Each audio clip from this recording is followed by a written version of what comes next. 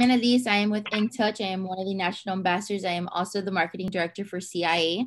Um, I see a lot of familiar faces, so hello and welcome back. Um, it's exciting to see everyone join us again. Um, so I want to talk a little bit about In Touch and, and let you guys know a little, you know, some things that we have going on. Um, first thing that I I have or that I want to talk about is Mari's shirt. Ask me what I do. Um, we have joined with Be Try for Us. It is an organization that is wonderful. They are out of Atlanta, um, Orlando and Tampa areas. So you guys have Sarah and Sarasota. So they cover that entire that entire you know they're within Florida. Um, so we've partnered with them, um, and we're gonna be selling these networking T-shirts. Ask me what I do. What is a marketer? So there's so many. We'll have a store. We'll share the link with you guys later on in the chat so that you could be able to see it. Um, and then if you guys haven't joined in touch, which I'm sure most of you or all of you have already done so, um, make sure that you are on the platform. The platform has so many tools for you guys. We have the Vote that's now launched.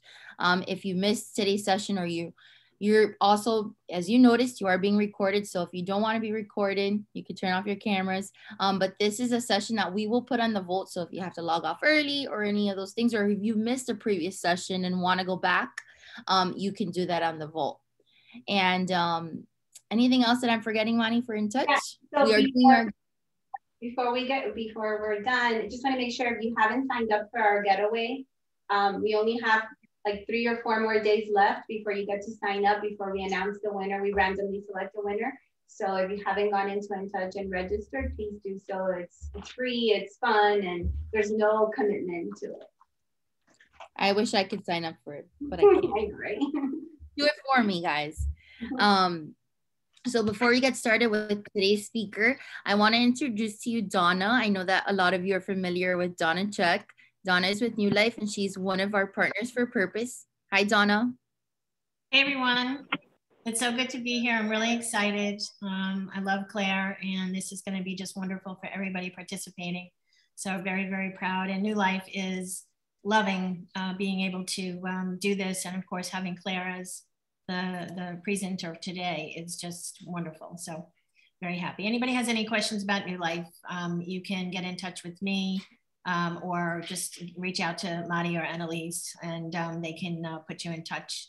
I think Brandy's trying to connect, by the way, Madi. Yeah, connecting everyone, so don't worry. I'll, okay. more people coming in. Thank you, Donna. Here she is. So oh, you have Brandy. two Donnas. So we are going to go ahead and get started with today's topic. Um, I do not think our speaker needs an introduction. She is very well known by most of you. Um, and today's topic is Becoming Your Most Authentic Self, hosted by Dr. Claire Muselman. So you will see her in a few seconds. She will not disappoint. It's about authenticity, is. guys. I'm showing up for you guys as my very, very best self. Yay. Yeah. I am going to probably take the mask off though, because it does hurt my eyes just a little bit. Oh, all right. Thank you guys. So today we're going to talk about becoming and then living your most authentic self because so many times at work, we start out with a mask. We don't ever really get to truly come in to the values and everything that we really, who we are at our core, to be our very best selves for people. And so today I want to talk about why we do what we do and how we can make it better for each other to show up fully and wholly for generations to come so that we do not have to continue to wear our masks per se as we move forward with just the way that life is continuing to go. So I'm going to go ahead and start screen sharing and we'll get we'll get going. So for anyone that is on here, if you do not know me, uh, my name is Dr. Claire Muselman. I am all things glitter and sparkle, and that is kind of how I branded myself. I really do believe that we can make every day better for each other. I love things being bright and beautiful, and just I like making sure that people feel that after we've had an interaction, that your life is better than it was before we met. And I really believe that we can all do that with, for one another. I think it's also important that I love this Maya Angelou quote because as we talk about you know becoming that authentic self and taking everything that you've got with you to keep moving forward in life is doing it with compassion adding in some humor because life is so serious as it is, as we've learned, especially over these past two years. And then creating your own style with it, which I think it's great. I love being a part of the In Touch Masterclass series because when we look at style, I know Mari and Donna and Annalise, like that is what it's always been like. Where do you come to the table from your style? And then what do you do to help enhance it in, in others? So I'm dressed as a teenage mutant ninja turtle because Raphael is who I used to identify with growing up so very much in my parents' basement in the 1980s when you know the original Teenage Mutant Ninja Turtles came out. I used to try and teach myself how to do backflips uh, on my parents' uh, garage or basement floor. if you guys remember back in the 80s, if you were old enough to have grown up in that time period in any capacity, uh, basements were like concrete with just like a nice layer of carpet, wasn't a lot of padding. And so after a couple of tries, I learned it was very important to be able to do a backflip correctly, or you could really injure yourself. And it worked out well as I ended up becoming a cheerleader, and I, I we had to do backflips then as well. And I still relate that to my days of my Teenage Mutant Ninja Turtle uh, lifestyle. So, but when I think about it, I want you guys to think about this, and feel free to put it in the chat. I want to know who you identify with. So there's four Teenage Mutant Ninja Turtles. You've got Raphael, Donatello, Michelangelo, and I'm forgetting the blue one, Leonardo. So I want you to put who you most identified with in the chat. And if you have not seen Teenage Mutant Ninja Turtles and this does not is not relevant for you, then I'm very sorry you have missed out on life. And now I want you to think why? Like, why do you like that one?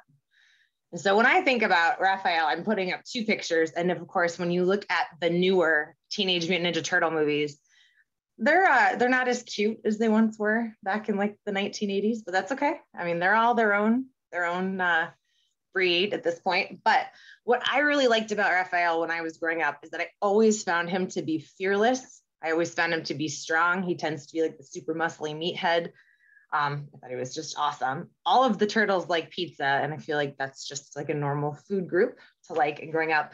But I also like that he was aggressive, and I put the exclamation points next to that because that's not a word that you're supposed to utilize if you're a female, because it is not a word that is thought of in a in a positive light in any capacity. But it's what I liked about him.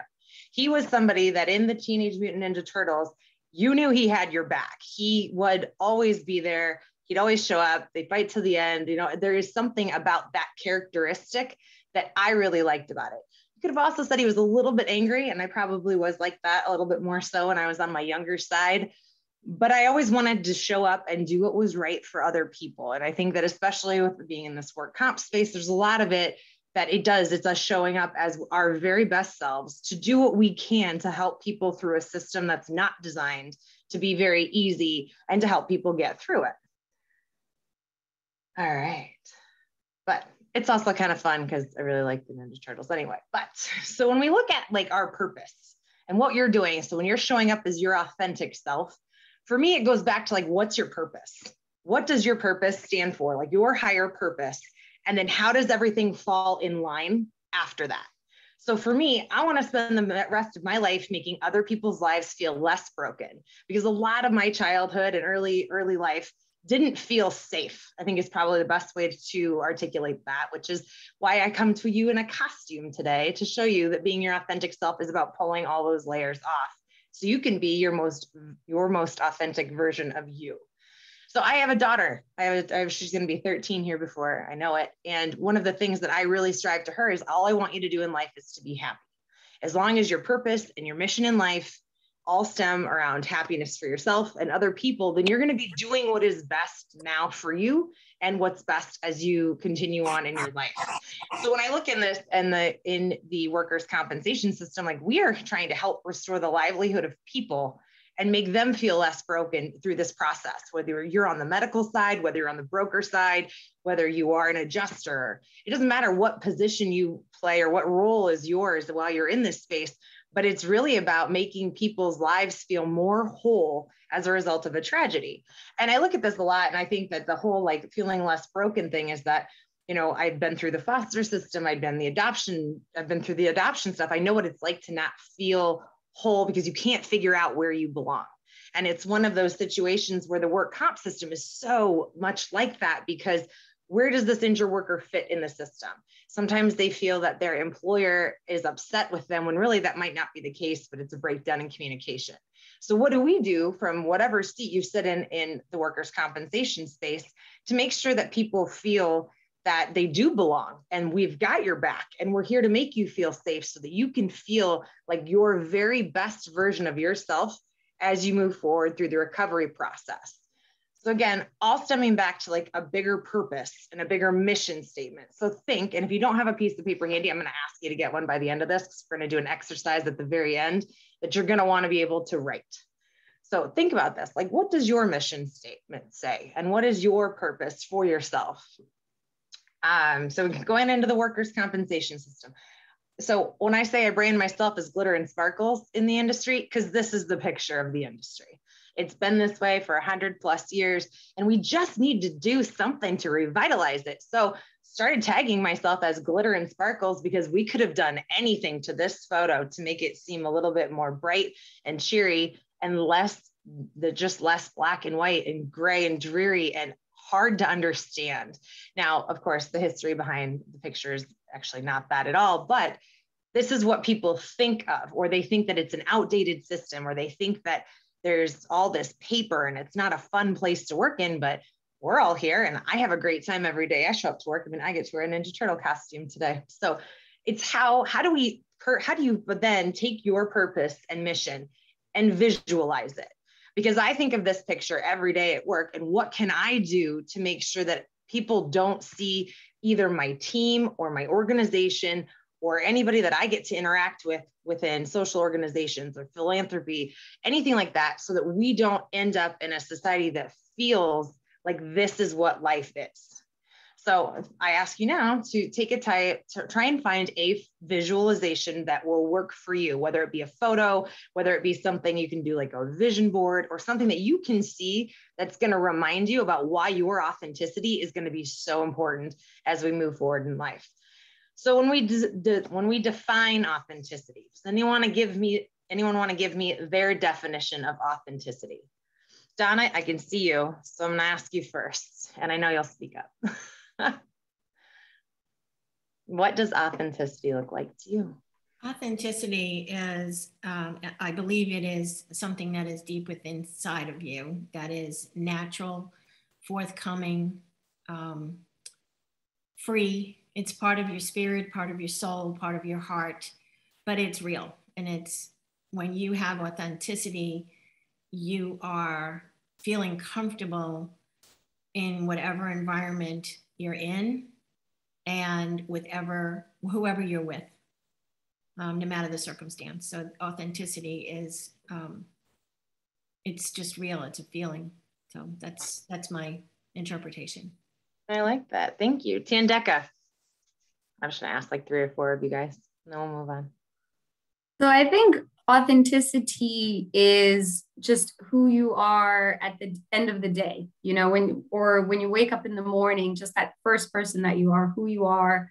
And um, we hear a lot about bringing your authentic self. So i think that means just bringing that person that belief system your values into different spaces that you walk into without um, compromising or changing them depending on the environment that you're in. So you don't have to put your mask back on so you can go to work? Exactly, exactly. Andrea, what about you?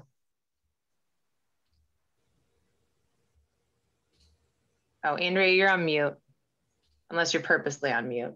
Well, I was because I wasn't planning on you calling on me, although I should have known that you were going to.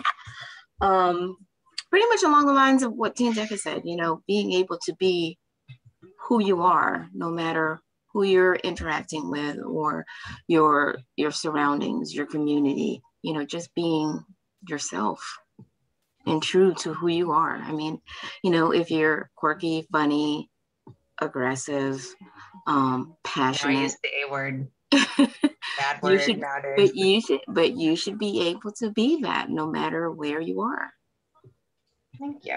I like that. So when when we talk about just design or uh, defining authenticity, think it's important that you get to show up as your very best version of you. And that's going to look completely different to every single person on this screen or that's here today. And what makes it beautiful is that we all need human connection. And those human connection pieces are amplified when we're able to find likeness and similarities that uh, we might not have with other people. Now, for example, like Katie Hensley, you're right in my eye shot. So you and I have younger children. So that's a human connection piece of us. But if I never want people to think of me as a mom in the workspace, we may never be able to bond about what lovely children are all days, every day, forever but there is those there's those human connection points that you can empathize with other people and see like if we're having a tough day i see you i hear you you matter i get it and it's just those little tiny connection pieces but if you are not in a psychologically safe space where that's appropriate for you to actually show up. Like I've worked in a company before where we didn't talk about being parents. Like that's not okay because that was a sign of weakness if I would ever have to leave work early to go be a mom. That is part of my unique nature of who I am and what I want to do and how I want to achieve for the future. So when we have those type of organizational environments that don't provide a culture to thrive with whatever that landscape might look like, that's where we end up finding a hindrance of connectivity and connection. And so I say that so when we look at defining authenticity, the next word that I have for you is transparency. Because while we don't need to know everything, and I say these words with a caveat, when I say bringing your authentic self to work, I mean it in a very anti harassment, anti discriminatory term. Because had someone say that to me before, they're like, well, what if you have these characteristics? Okay, be realistic in this situation. We're talking about letting people come to work as their authentic human selves, as you know, whatever the characteristics that you would describe yourself are. Again, I'm very glittery and sparkly. I also have a sleeve tattoo that I don't really want to hide because that's who I am. I like the art. I like people being able to come ask me questions about it. It gives pieces of human connectivity and it allows for stories to go with that. I get to work for an employer that could care less about it. And I am so thankful and grateful that we allow people to show up as their very best versions of themselves. Where previously, let's go back to the 1980s, since that's the time period I'm kind of in, that would have never been okay. We would have always had to stay covered up. You would have always had to stay masked, and you get put into this box. And what I think that we're going to see as we continue to see organizational culture be such a forward focusing thing the younger generations want to be themselves. And if we aren't going to allow them to do that, they're not going to work for us. They've made it very, very clear that, again, within parameters, of course, but everybody wants to just feel like they can be themselves with whatever that is to come in as their transparent self. And I say that that comes with a little bit of vulnerability. The very best leaders I have worked for have showcased periods of their life that things haven't always been perfect we also, you know, live in the Instagram society where everything is awesome, everything is perfect all the time. When you can acknowledge to a point where I'm not okay today, like, no, this stuff is very challenging right now, and be able to, again, relate those human elements of connectivity that's where the real power is because when you are able to connect in those two little vulnerable moments from one person to another, it establishes trust. You get to now be like, I'm sharing this moment of my life with you so that you don't feel, I guess, as bad. We can, you can feel more whole. But in turn, that's going to create a bond for us so that when we move forward in life, we are being able to understand, like, oh, I remember when, like, you, okay, I got you. And there's those moments that allow empathy to kind of come and take that place to help restore those human connective bonds that can weather the storm through stressful situations, for those crucial conversations and some things that are a lot harder to deal with. They're also the very best moments when you want to celebrate wins because you've got your people. And so that's where when we look at authenticity, that human connection component is where that authenticity piece comes.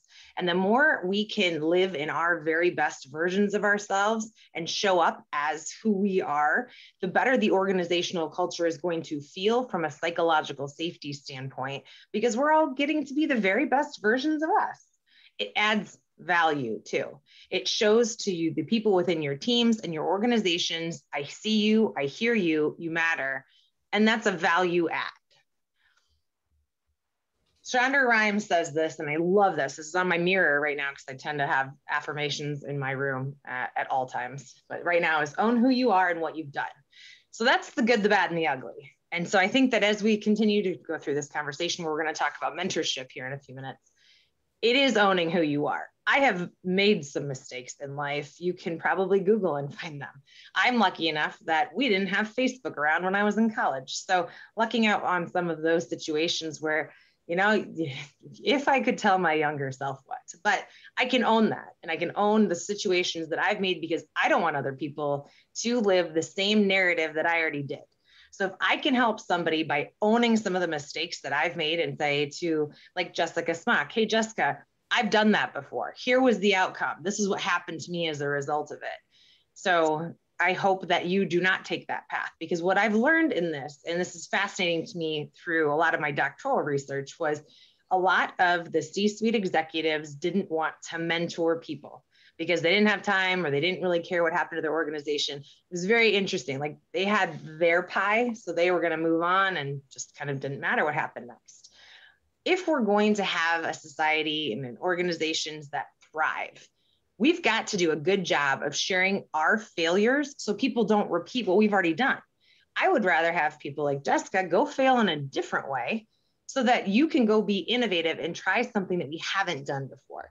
But the only way that we can do that, whether it be through speaking or trying new technology or trying to bring teams along or change management, there's a plethora of things you could think about in this capacity but owning the mistakes that we made along the way or hey here's what happened when we tried it at this point of time in this manner at this at this juncture here's what I would suggest you do you try it differently. I think maybe it could make a better chance now or hey, we tried to execute change way too quickly and it failed.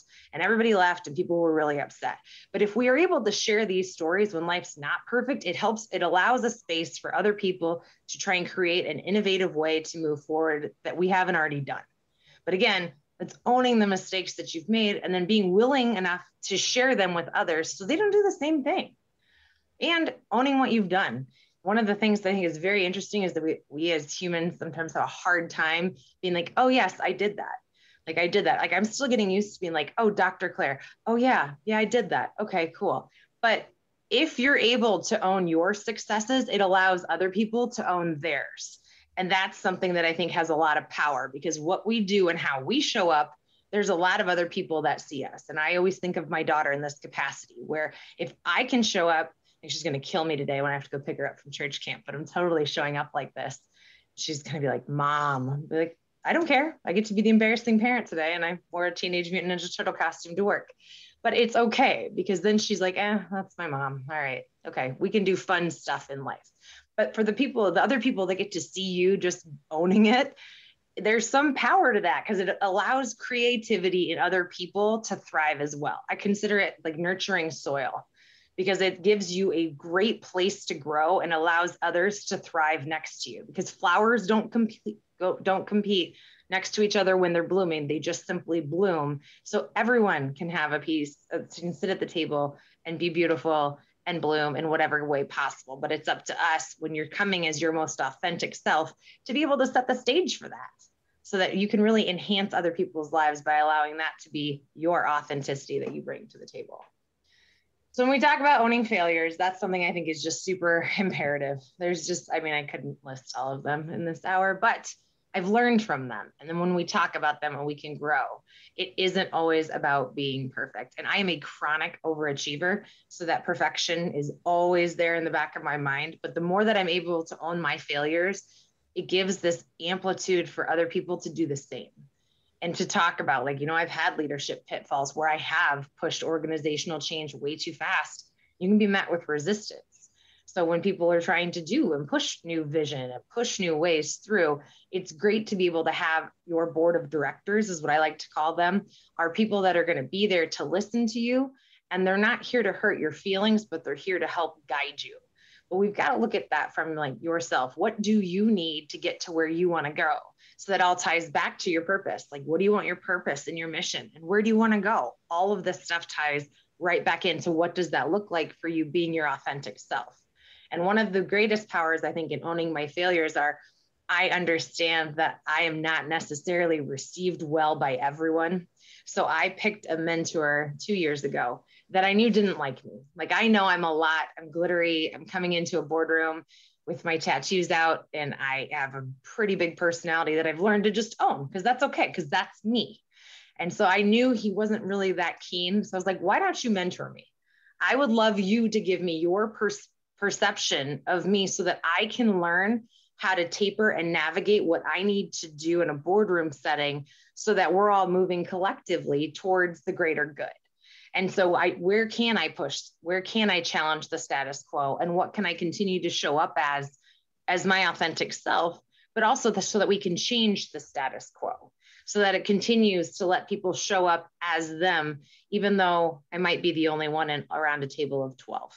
So it's things like that that I think that are really helpful when you're looking for people that can help be part of your community and your team to help you thrive.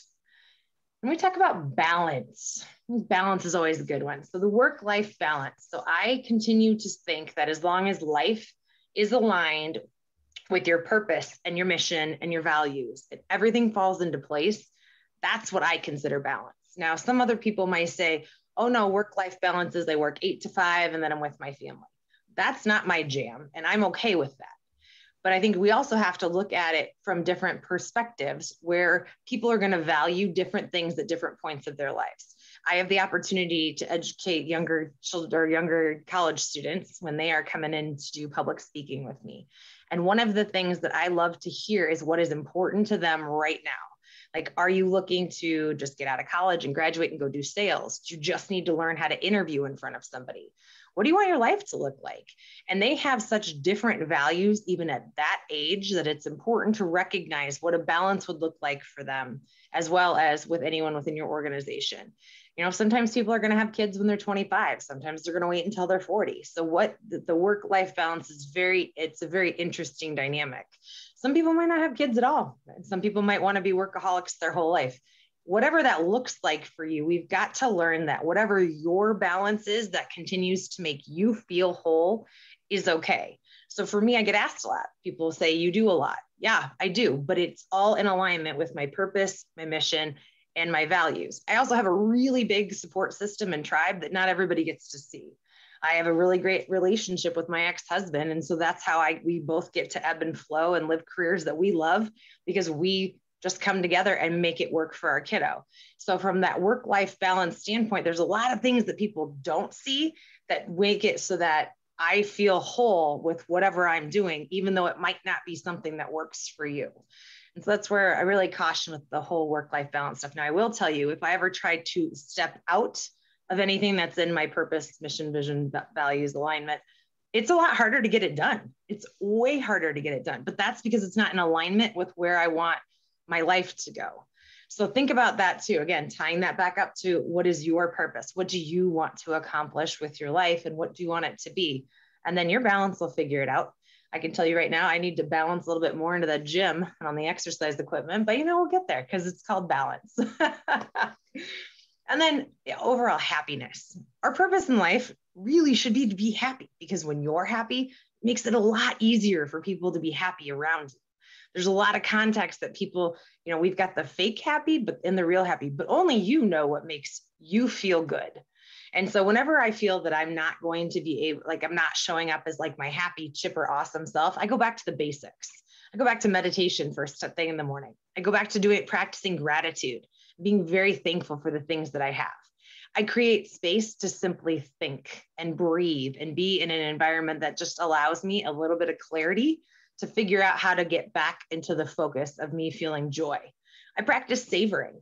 I try to savor a moment of every day and just fo- focus on whether it be drinking a latte, whether it be petting my dog, whether it be actually getting some snuggle time, if I can actually get close enough to my child that she's not pushing me away. You know, there's just a lot, there's little moments, but those moments when you focus on practicing your five senses throughout that time period really amplifies the happiness factor. Exercising at least 30 minutes a day, another easy one. Exercise increases endorphins. Endorphins are, make people happy.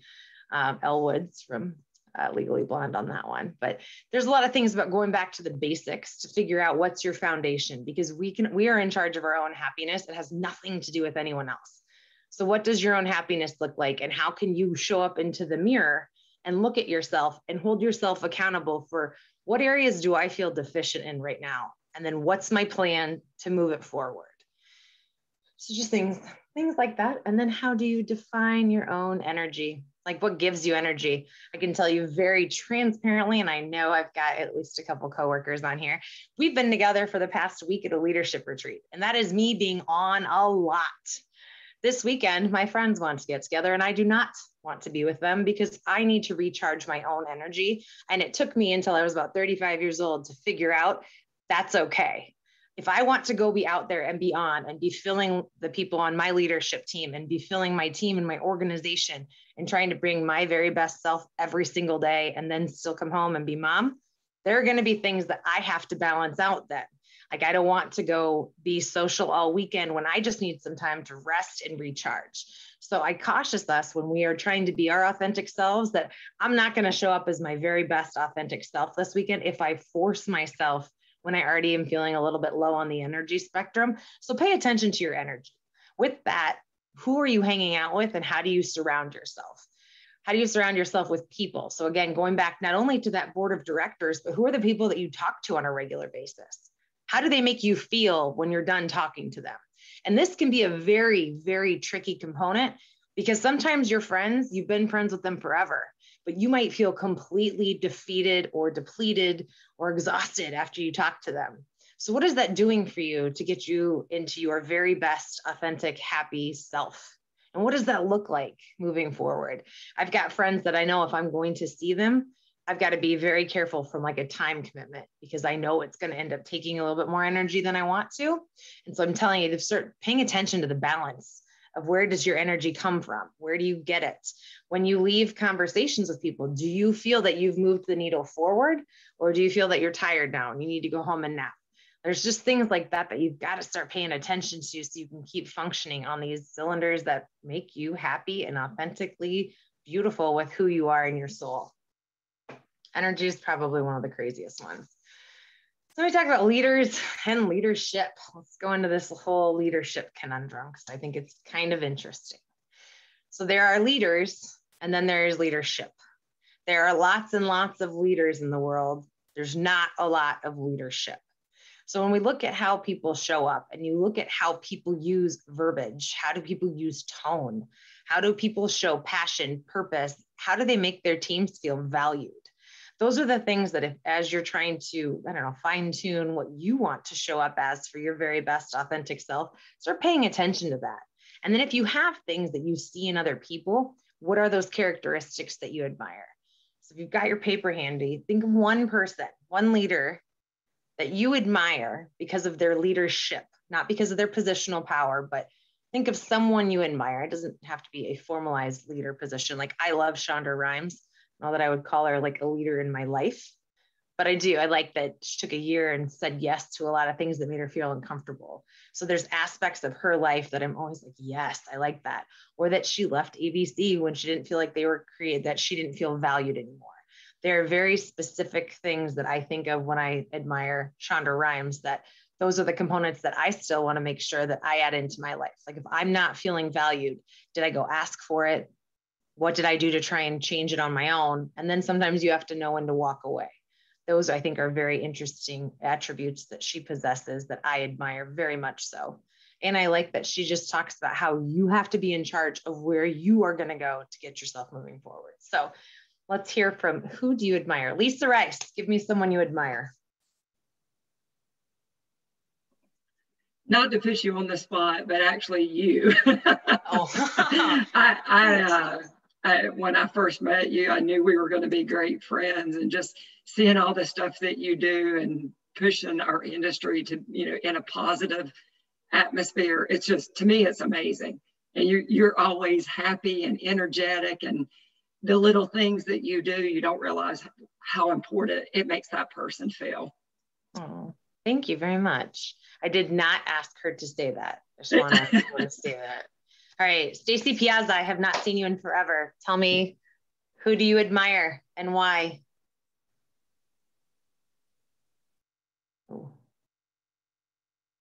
I can't hear you, Stace. But you're not on mute.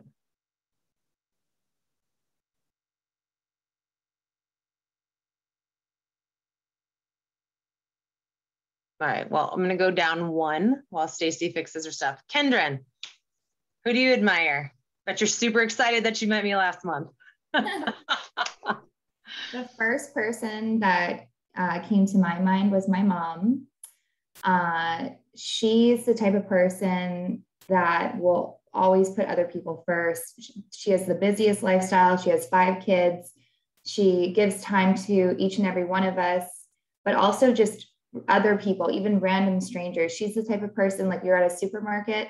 And my whole life as a kid, like I would see this, and now I'm I understand why. But like I random people would come up to her and just open up. Like, you know, we're down the vegetable aisle, and this lady would just come up and just start talking to her. And I was like, Mom, can we go? Can we go? And she would just stand there for 20 minutes and, you know, talk to people and just listen to them and um, just always being there for other people. And, you know, I think that in life, we all could, you know, be better at that and um, just being a good person and taking time for people, even complete strangers, because you can change someone's life by a 20 minute conversation. And just, she was definitely, you know, my inspiration and still is. And yeah, she was the first person that came to my head.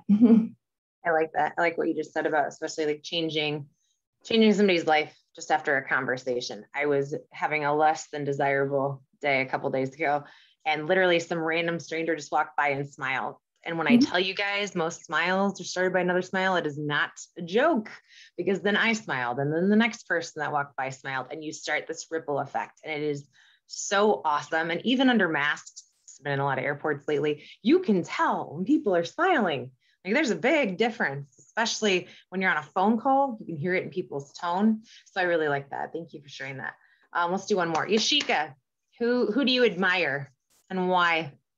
I have a really good friend. Her name is Shanisa Harrington, and um, she's amazing. She's such an empowering leader. So I love that she always empowers her team, and um, she doesn't take the credit. Like she was, I was just talking to her the other day, and she was telling me she was doing a report for work, and normally when the report is done, the person who turns it in, the manager, turns it in, and they think, oh, the manager's done all this great work. But when she turned in her report, she highlighted how her team contributed to the completion of the report. And she educated her team on why things that they were doing all along were important to what she was doing. And so I, I just love the fact that she empowers and she educates. And I think as a leader, um, you can't have better attributes than doing that. I like that. That was really great. Stacy, did you get yours to work? Because I don't want to skip over you, but I did want to give you an opportunity. No, because now you're muted for, through Zoom. She, she put her answer in the chat. She said oh, Taylor okay. Swift. Okay. There you go. Are you talking, Stacy? No, that but she said Taylor Swift. She seems very authentic and real, and I can okay. listen to her music with my kids. Awesome. I like that. All right. I don't want to leave out the guys in the room. Nicholas Duncan, who do you admire? Why? Give me a characteristic about that person that you admire. Well, um, I, there are a lot of people who've kind of influenced, um, but somebody that I have grown to admire are a couple different people. One for me is been RuPaul, has been kind of a, a role model, you know, um, as uh, as a queer man myself, to be able to kind of see somebody be just who they are authentically at all times and be real has always been very encouraging to me. And then most recently, a new friendship that I developed um, uh, kind of also gave me a different direction and focus. Um, of course, you know that I'm going to say you, Claire. Um, I, you know, you've always been that. I've always been a rhinestone and glitter kind of person myself. And uh, I've always been the shiniest thing in the room, regardless of what the room was. And so I appreciated being able to meet somebody who had a very much similar style, who had a very much similar kind of personalities, the kind of things that are always want to be able to be shiny and beautiful in the room. And that's always very me. And that shoe closet that you have made me weep. Thank you. Thank you. Thank you guys very much. I appreciate that so very much. Because that's where I feel like you never know what difference you're making in people's life at all. So thank you guys for that. Um, so if you have not ever done that exercise where you think about people that you admire, drill down like why do you admire them? So i asked Yashika, okay she empowers. How does she empower? She says you know she gives her team the credit where the credit is due and highlights that. You know what Yashika, i'm going to take that back for my next one-on-one with my boss.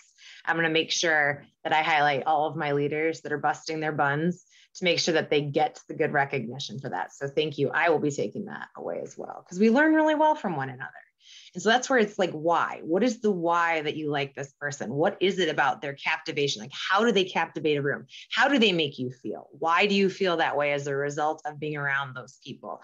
And I think that it's important that we figure out, like, if these are the people that you're looking up to, what is it? And can you adapt to it? Can you find something that helps enhance your life as a result of it? Are there certain things that you can be doing daily? Because we're always, our goals are super easy to accomplish. We just have to tweak certain elements of our daily life in order to get there, which again, I'm going to go back to the gym. I mean, if I wanted to wake up early and go to the gym every day, COVID 38 wouldn't have happened. You know, I mean, just certain things happen. And I have to keep joking about this because it makes me feel better about life at the moment. So but then also, how do you talk to yourself? That's something else. When you show up in the morning and you're getting ready, getting ready for your day, how do you talk to yourself? What language do you use? Like I shared with you guys that I have quotes. I put quotes up on the mirror and they're usually relevant to something that's going on either in that day, week, month, and then they serve their purpose and they move on. But I, I see them. It's a repetition thing. It's every day. It's how do you talk to yourself? Um, if anyone ever saw the TV show Being Mary Jane, she had quotes everywhere around because it was her to remind herself how to talk to herself. And so it's things like that where you how how do you show up as yourself? How do you talk to yourself? How do you remind yourself that it's okay? Like you got to be human. Things happen. We move forward. But then how do you build that resiliency in yourself? So, you know, I told you guys that I meditate. I do practice gratitude. I send thank you notes. I send notes people I haven't talked to in a while because I just really want to make sure that I'm practicing gratitude to let these people know how they've influenced my life. I think those things are important. A lot of times we don't take, like, we'll acknowledge that, oh, yes, had this lovely dinner with Donna. She was fantastic. I should send her a note or I should do something. And then that moment fleets away and we move on with life. Where really, if we started to capitalize on those very, very little moments in our world at that point, by the time that that note gets to Donna a week later, that could be showing up in her mailbox at the most perfect time where she's like, I didn't realize I had that impact. I don't remember actually saying that, but it can then, like Kendra was talking about with her mom, can change the trajectory of what has gone on in Donna's day, week, or month. So not only do you feel good in the process of writing it, when Donna gets to receive that, it's them something completely different. But that's an authentic moment that you felt. And it's recognizing that and providing it a value in that moment to make cool things happen again as a result of things. So when you think about those are just some little tidbits and things that I think about. Mentoring, if you were oh sorry, sorry, sorry wants to chime in on this. Mentoring, if you do not have a mentor or you don't mentor, I challenge you to do both. When you walk away and leave here today, I mean, Tandeka can put in the transitions if you need a group to help you get going. Um, but also, I challenge you to find 52 people to have coffee with in a year you will learn so much from 52 cups of coffee. You could do just a half an hour once a week, find people that you wouldn't normally meet with.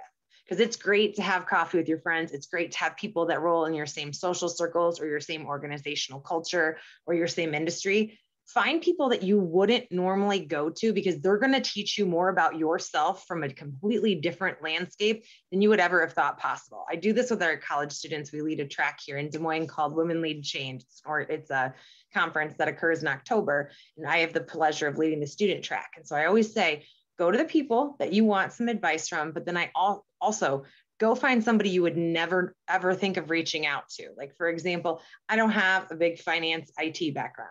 So I would go try and find somebody who's an actuary and start hanging out with them and doing my cups, my 52 cups of coffee because they think differently.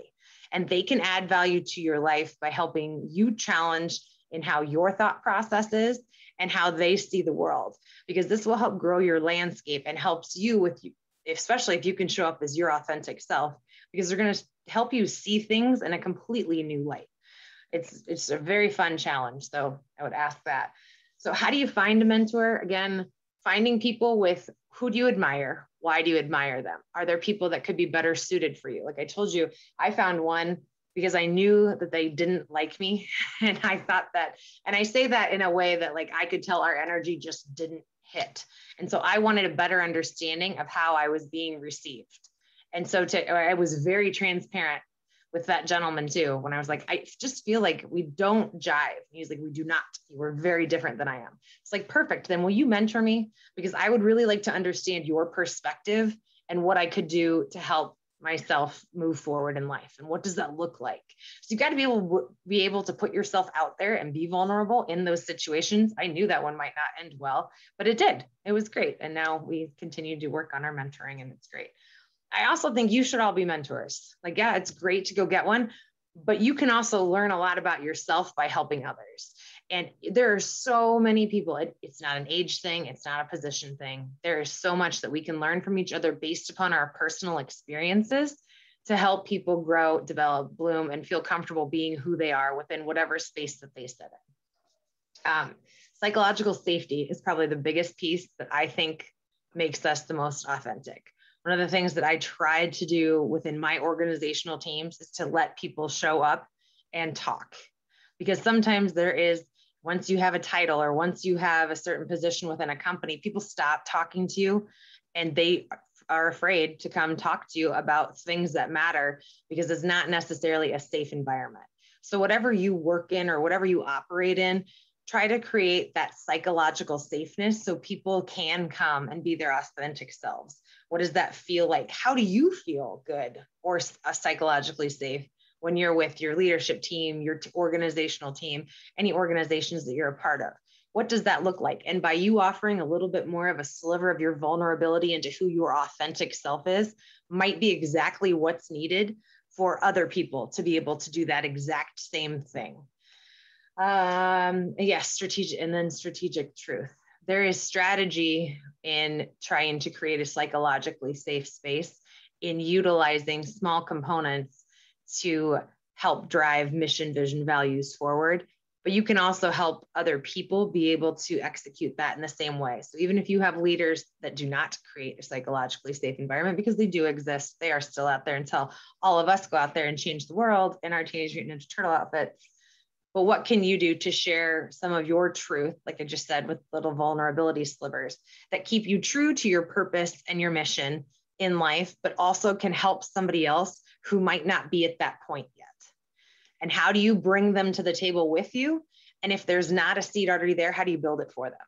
And then help them so that they can then go build a seat for the next person. And we start this ripple effect by being that change because we showed up differently. Just things to think about, some, some tidbits.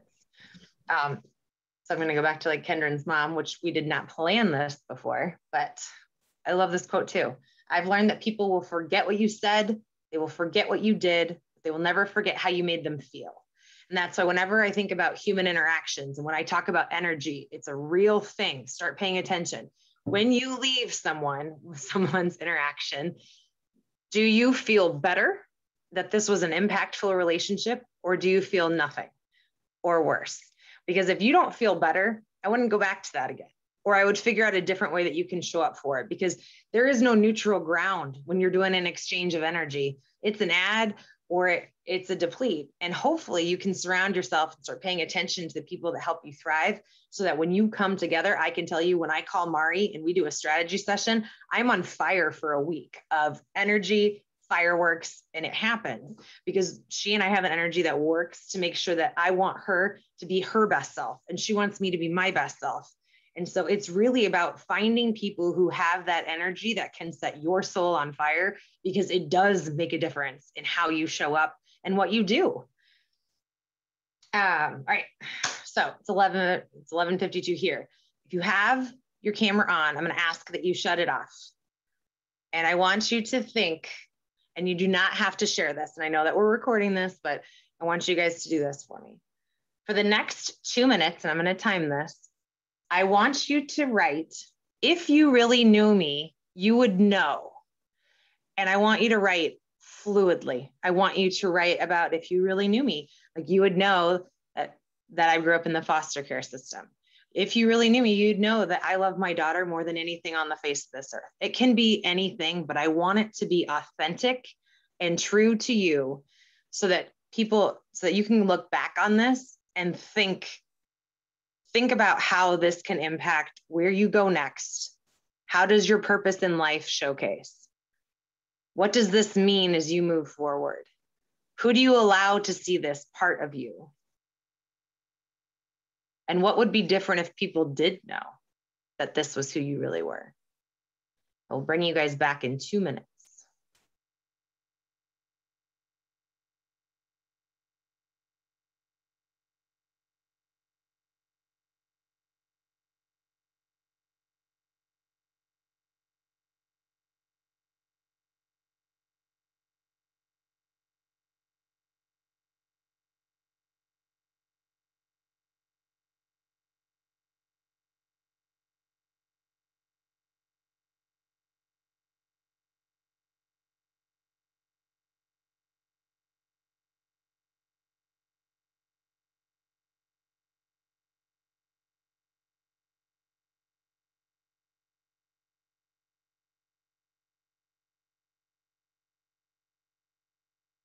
I'm gonna give you guys one more minute and then we'll come back on.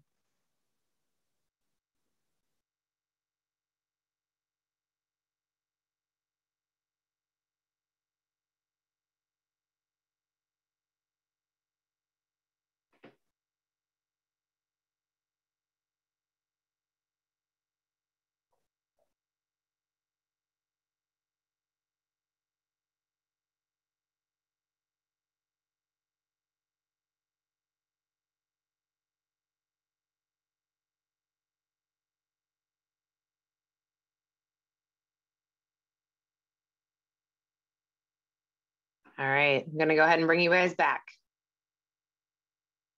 Does anyone want to share anything? And this I know can be very personal, very private. I do know that we are recording right now, but does anyone have anything that they would be willing to share? Brandon, your head nodding. I see you. oh, but you're on mute. Probably because you're on your phone. I'm getting off mute. I'm getting off mute. I was finishing. I was finishing my uh, my little paragraph uh, if you really knew me, you would know that I had a difficult childhood and that I was be- not from a lack of family support. It was overcoming and adapting to the disability, cerebral palsy that I have.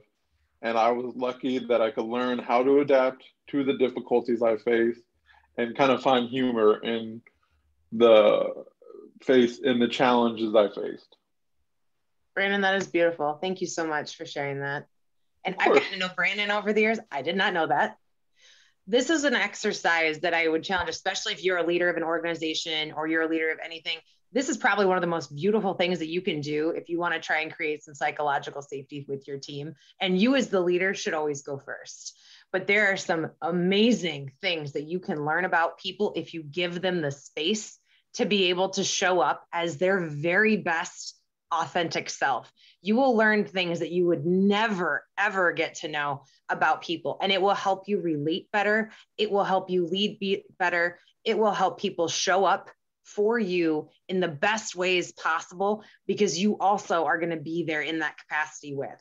Um, I do this at the National Leadership Academy with a group of college, high school, college students, and we sit in a circle and everyone gets two minutes and we just let things flow. And I will tell you, it is like the most beautiful, heart opening exercise that you can do where people really like the more honest that you get to be about sharing who you are. And Brandon, that was awesome. So thank you very much. Again, not planned, but this is where people can show up as their very best versions of themselves. And we come as we are. And everything that we show up with, we should be able to help each other bring that out because keeping it in isn't always the greatest thing ever. And we all have a story. Everybody has a story. So how right. you continue to do this is what's next and what's up to. I need to be able to. Can I go next? Yeah, Mari, please. No, I don't like to talk. but if you really knew me, this is what you would know is that I love sharing with people what I love. Tea, plants, herbs, nature. I love giving back and I have a passion for helping others and empowering women to find their dharma. And for me, I used to be very afraid of people like, who does she think she is? You know, but I don't care anymore because I have the courage to stand up and say, this is who I am. And I've met myself and I'm going to live myself and be herself fearlessly. Like, this is me and this is who I'm going to be. And I'm not going to be afraid. I'm a dreamer too. I'm a huge dreamer and I won't apologize for that. I love it. I love it. That's where you got to show up your shirt. All right, my last, I got one more. Does anyone else want to share? Yeah, th this is all. I can share something real quick. Um, if if you really knew me, um, you would know that I, you know, that that I'm that I'm made up of my past life experiences of of really overcoming specifically a war, moving from the other side of the world with barely nothing, and just really the journey that I went through over the last 30 years to kind of make me who I am by learning from all the encounters and people that I went through. Um, and, and not to just to say this, but I learned from you a lot too, Claire, the last year and a half. And I'm not just bragging, I promise, but that's kind of really about me. Just people would know what I went through the last 30 years to kind of be where I am right now. Thank you, Ella. Thanks for sharing that too. Ah, you guys, this is where it like gets a little. Um, I will say if you do do this exercise, bring Kleenexes because people will feel things. You will feel things. Yep. Some good stuff. And if you did and you didn't get to, if you started to feel things and you didn't get a full, you know, your full time to write, take take a few moments and journal on it because I think it can really change your life. When we talk about these single pivotal moments that can change the trajectory of your life, here's one for you right now. So I hope that you guys can take that with. But and also kind of like what Mari just said, this is my absolute favorite quote to end with because I believe that Apple wrote this for me a long time ago. And I just had to find my people to help get there. But here's to the crazy ones, the misfits, the rebels, the troublemakers, the round pegs and square holes, the ones who see things differently. They're not fond of rules and they have no respect for the status quo. You can quote them, disagree with them, glorify or vilify them, but the only thing you can't do is ignore them because they change things.